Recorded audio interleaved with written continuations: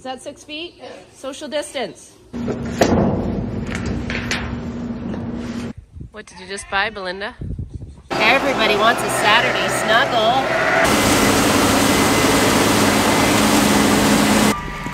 Yay. Let's go get them.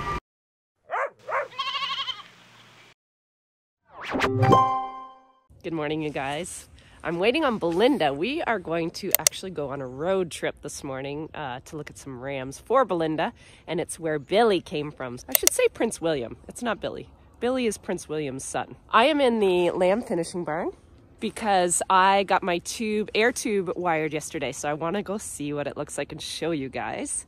But before that, you have to see this view. It is such a pretty, pretty fall day.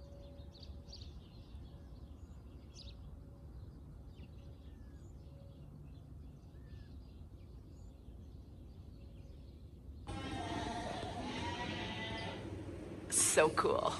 Oh, I kind of wish I could feel the air. I'm gonna jump on a bale and see if I can put my hand up there. Oh yeah, I can feel it. That's crazy.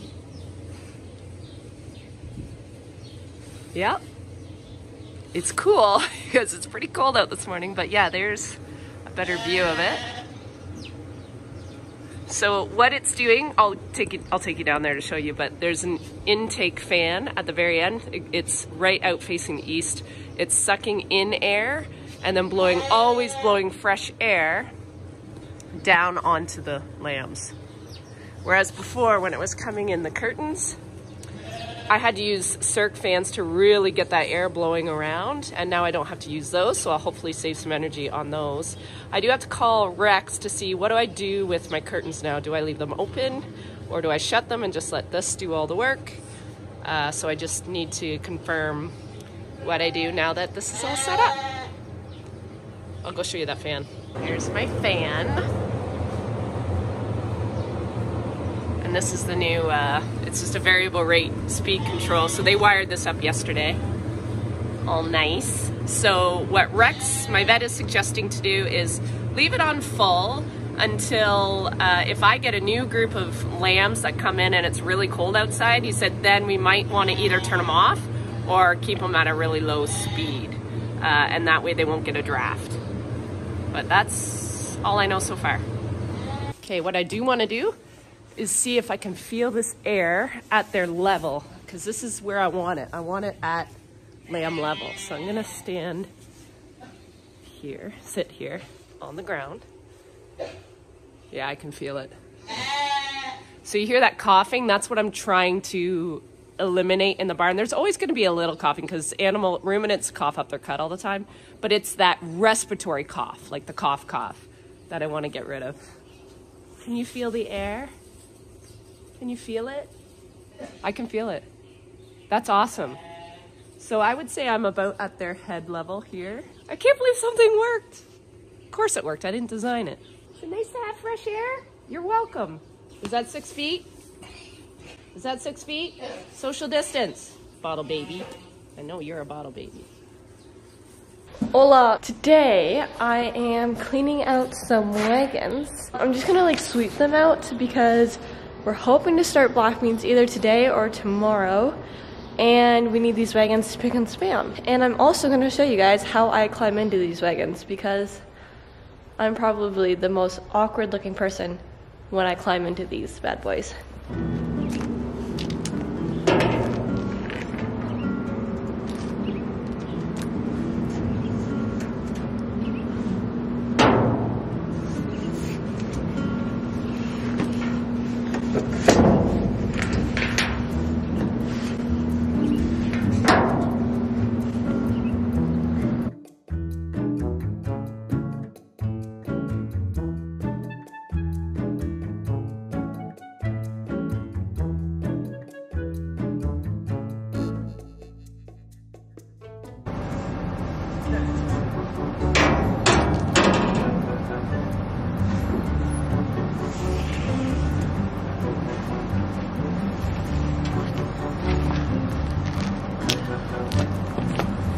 Mom is away today. Therefore, this little nugget is hanging out with us.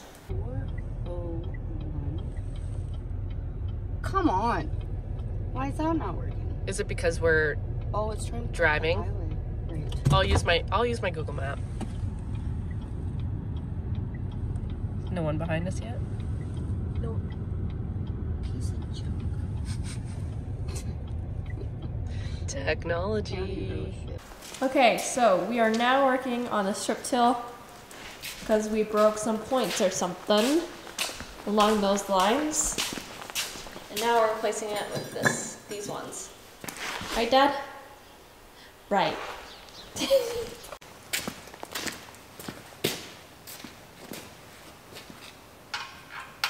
Speed this up, Madre.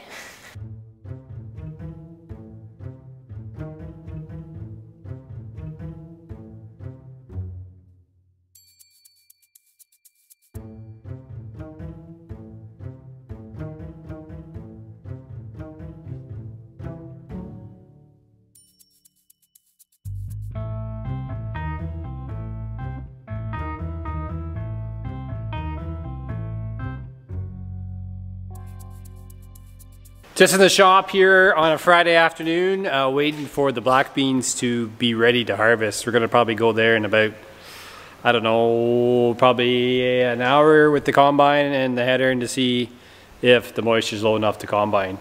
Uh, that's all we got left is 70 acres of black beans and then we're into corn. So uh, it's kind of a good feeling. But today we were working on the strip till rig here. It's a six row uh, Orthman one tripper. That's what I've been using the last couple years to make our uh, tillage zones that we plant corn into the following spring. So we go through our cover crop, weed stubble ground. This kind of rips open uh, about a 9 to 10 inch zone of soil width-wise uh, that we plant the corn into, like I said. Uh, we had a point that was broken on them.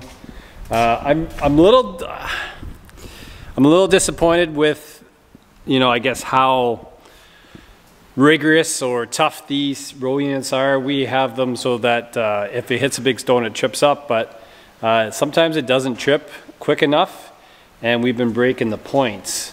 And I'll show you, kind of right here is a point right there, and uh, we've been breaking them off this whole shank assembly, and this shank assembly actually has been bending as well, kind of getting a little curve out. So uh, instead of kind of tripping and going over top of the rock, going out backwards like this, it's been kind of going sideways and bending. Uh, so it's a little frustration, frustrating because it's breaking the cast on the top of these and I'm kind of botching them together to keep them going. Uh, I've just kind of run it like this for a little bit and uh, we're trying to get it done, this fall zone's done, and then maybe this winter we'll work on trying to straighten a whole bunch of these shanks. It's one inch by four inch steel. Um, I've been happy with the job because it makes a nice wide strip. It just, I don't like that whole issue there. Which takes us to this point. so behind me is a TerraForge uh, strip till rig with uh, a multi two bin Montag cart behind that you can blow fertilizer down the strip. So this, over the next couple days, depending on weather, we're actually gonna demo this out in the field to see what kind of zone it makes. We're gonna do kind of an Orthman against TerraForge and see kind of what zones we like. Um, we are thinking about maybe switching if it if it warrants it, but uh, as you can see here, this whole strip, strip till unit rig here is a little bit more involved than the one on the Orthman. Uh, they call these containment coulters and I'll talk about it as we use it but uh, our plan is to use this in the next couple days hopefully and we're going to compare it against the Orthman.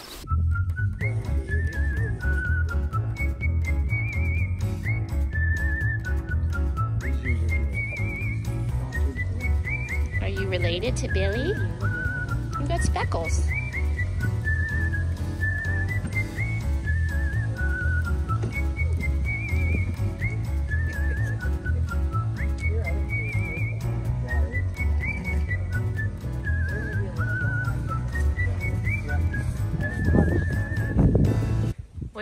What did you just buy, Belinda? Some more sheep. This this isn't this wasn't part of the plan. Don't tell my landlord. Okay. Here they come. These are all my new sheep. Just kidding. Oh, you're a pretty ginger.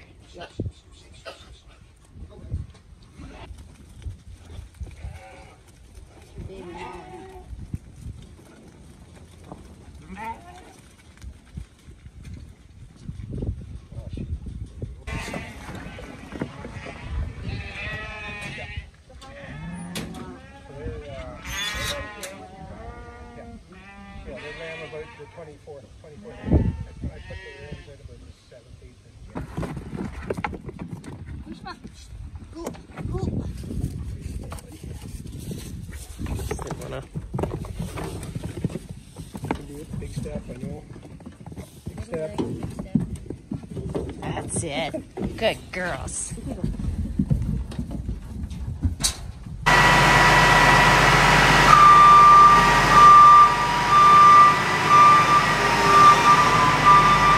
As you can maybe see, no, no you can't. There we are. So, we are gonna try black beans. I'm gonna go behind dad with the truck and we'll take a sample, then come back and test some moisture and stuff.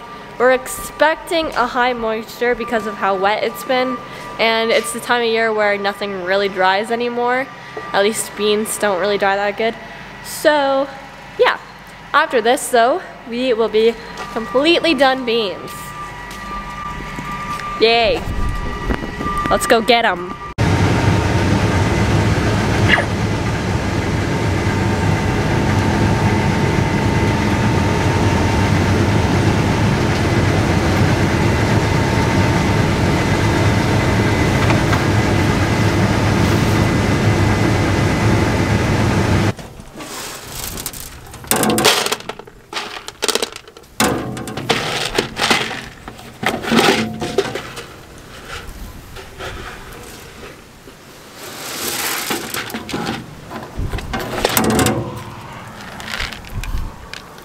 Those are the frost damaged ones. Oh, I see what you mean. See, some of them Yeah, are getting getting squished. We got some bad news.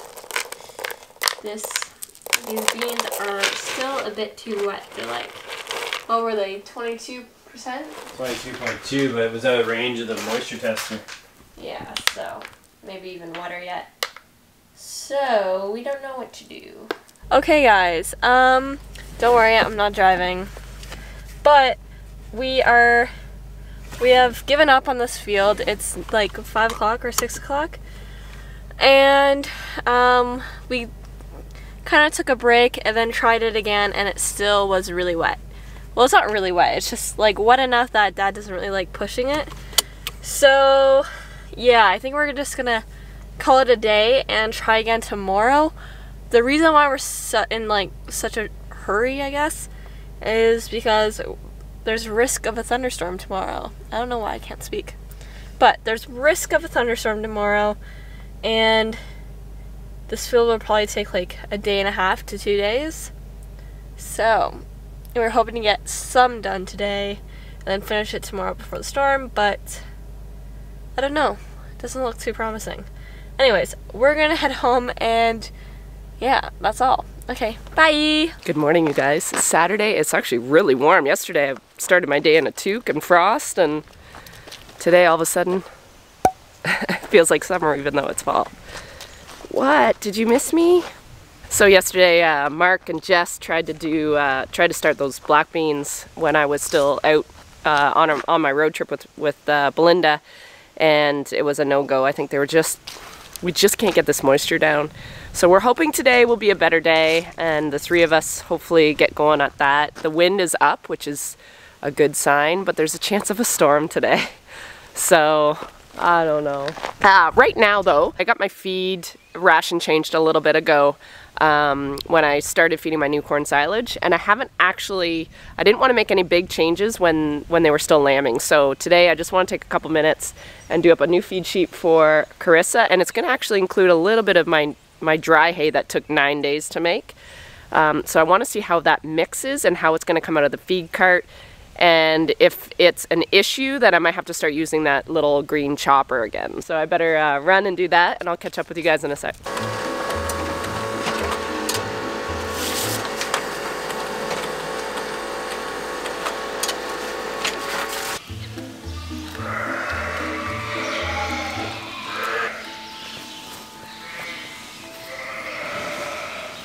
So I was just telling Carissa that um, some of the outside bales uh, were the last ones we picked out. Um, the field's right out here, and it was flooded right out here. So this stuff never dried out as good. The inside, I think, is going to be nice, but um, there's a little bit of, you know, a little bit of mold. just on the very outside of these bales, but the next ones in were really good. That looks good.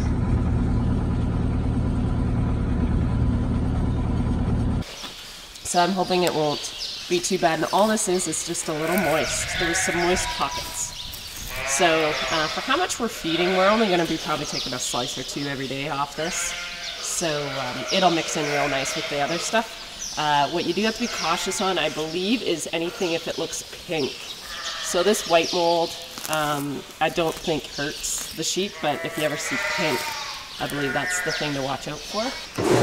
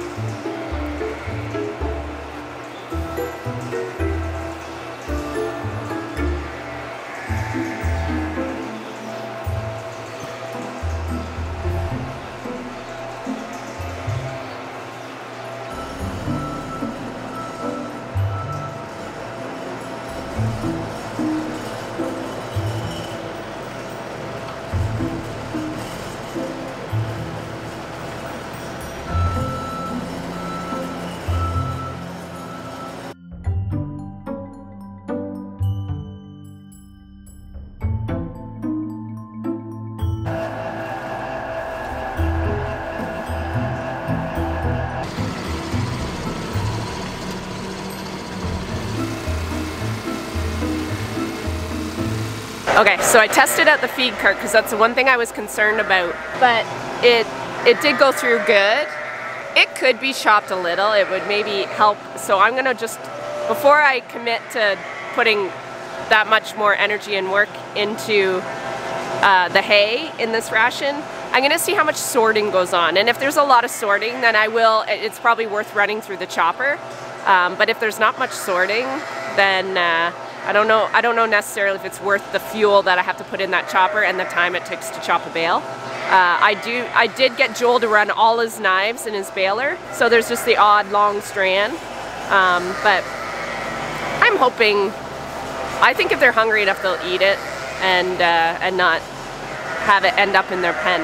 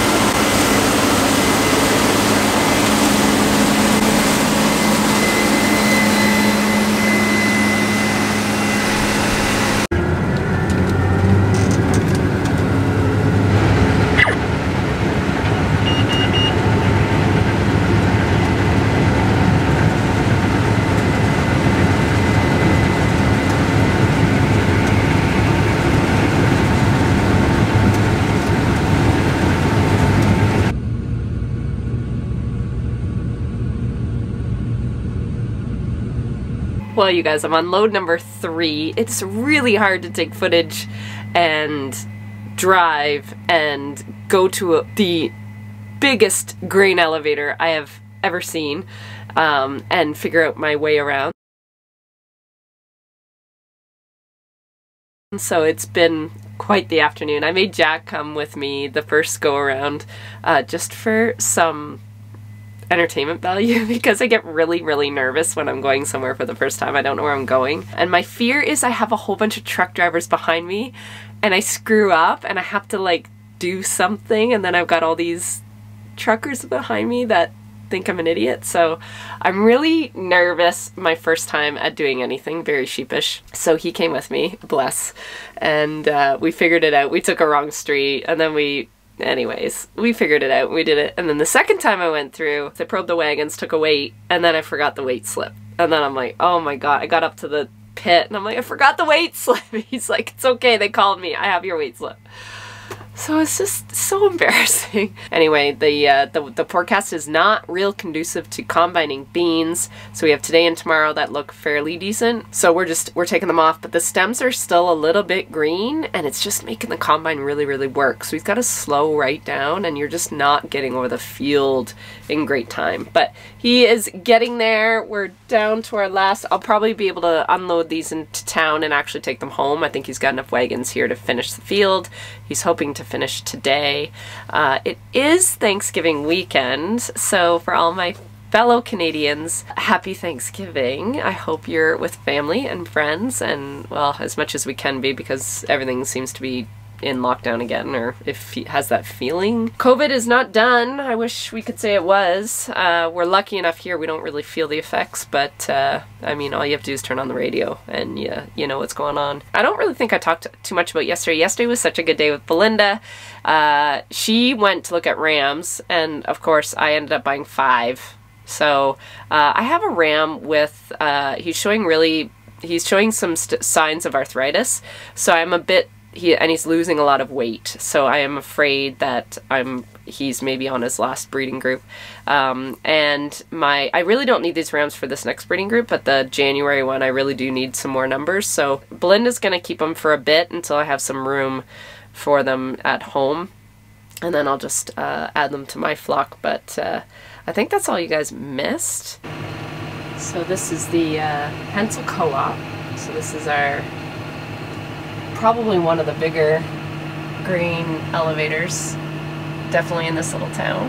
There's two in this town. So there's a bit of a line. So there's a truck getting unloaded. That's my pit right there. So I, this is my scale. I got weighed there and they probed the sample, get a sample there. And then I just drove around here and I have to unload where those trucks are. So one's getting dumped right now and then that one and then that one and then me. My little wagons.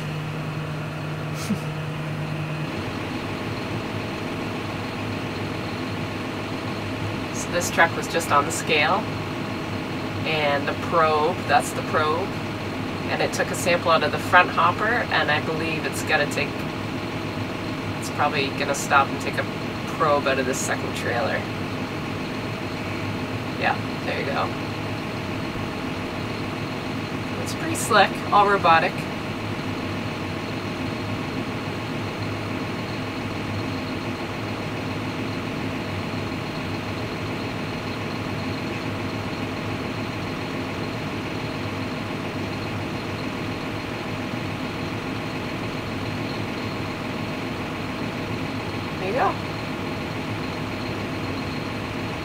That was a long, long trip to town. Uh, but we are on our last our last few rounds and uh, it's cleared up. It was cloudy all day. It like even drizzled a tiny little bit, not enough to stop us, but yeah, there's the last bank of clouds right there. so it's good. We're gonna be done. Uh, I have these two wagons almost full. He's wondering if this will all fit on one more wagon. And if we can get it on one more wagon, then we can take three uh, wagons to town. Uh, unfortunately, I haven't told him yet, but I am not comfortable taking three to town, so he may have to take that load. Uh, so we will we'll see what he's saying. The mill when I left was packed, so there was trucks lined up. In the entrance and all down the scale and all around the scale and right up to my pit. So I don't really know. It's this is this is the thing we've had rain up till about a couple days ago and this is like our only time to get beans off. So every farmer in this area is going like mad. So anyway, it is what it is. I am probably going to sign off, guys. It's been a long couple days, and uh, just thanks for hanging out with us. I have no idea what Mark and Jess, I don't even know what they vlogged yesterday, so I'm looking forward to editing this one just to see how much fun they made of me. But uh, thanks for thanks for hanging out with us, and we will see you very soon. Have a good one.